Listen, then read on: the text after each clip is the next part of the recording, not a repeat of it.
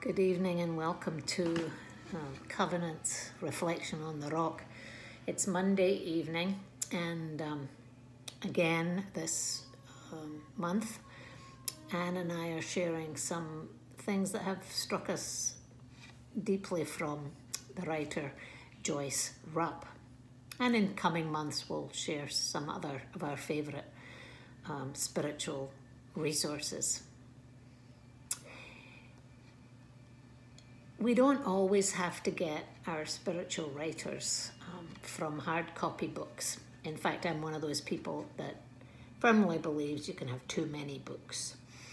Unlike my husband, who doesn't think you can have too many books.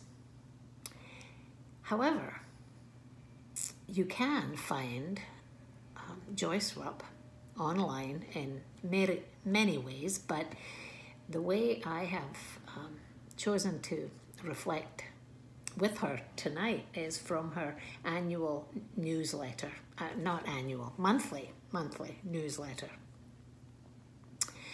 And here's what she says for October. And it has just lifted my soul um, in great ways.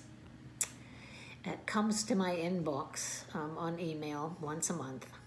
It's a little bit long, so Bear with me. These are Joyce Rupp's words. Hope is usually at the center of my heart. But that was not the case a few weeks ago. I felt disheartened and wondered if anything would ever change regarding the damaging issues burdening humanity and our planet. My discouragement began one morning with a woman sitting on a park bench, fully engaged with her phone, while her unleashed dog chased young herons and ducks in the lake. I spoke to her and explained how this distressed the waterfowl and that they had very few places to be safe. She just smiled and said, Oh, I see, and went right back to her phone. The next day, as I neared the apartment building, I met a man carrying cardboard boxes to the dumpster. I suggested he might want to use the recycling dumpster on the other side of the apartment building. He replied, okay, but went right over and popped the boxes in the garbage dumpster. The next day, I was out for a walk when a man ahead of me stopped, looked down intently and stomped on a grasshopper.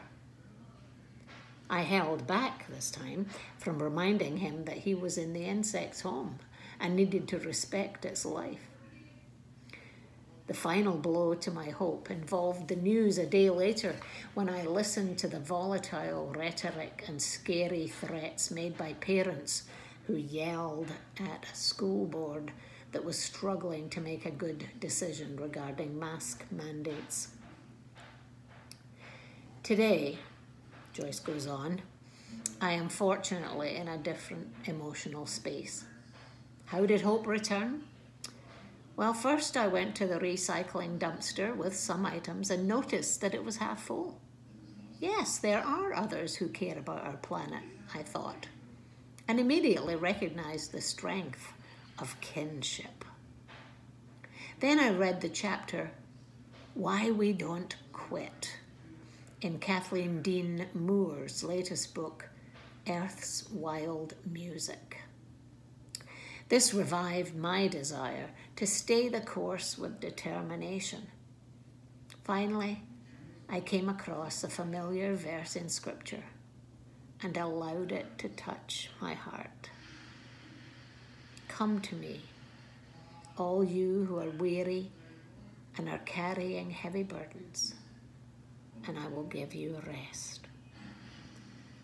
What perfect timing. Of course, this gift is waiting for all of us, whatever our need and burdens might be.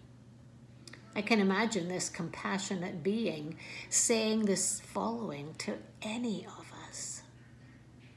Come to me, all of you who live with uncertainty and insecurity about what the future might bring, who bear sorrow that shreds your heart into ribbons of sadness, who carry memories of trauma that nag at you and still cause pain, who worry about a loved one's serious illness, who find it hard to believe you are worthy and valuable just as you are.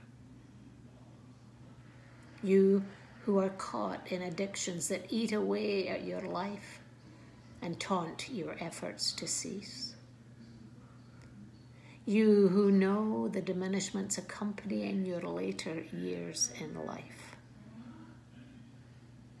Who doubt that our world will ever be a place of peacefulness for all people. Who feel like giving up hope and want to put trying to have a planet filled with compassionate care and harmony and quit. Come, come to me and find your rest, your peace.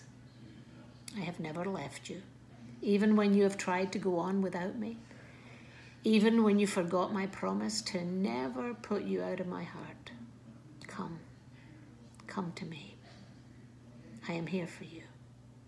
Rest your burdens, your weariness, and woe on the strengthening love I have for you. Come, come to me.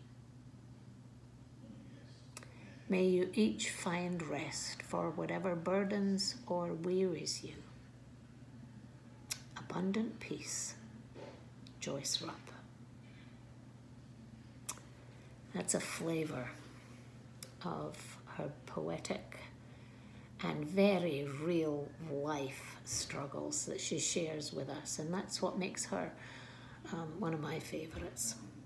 So I echo her words for all of you tonight. May you find rest for whatever burdens or wearies you. Good night.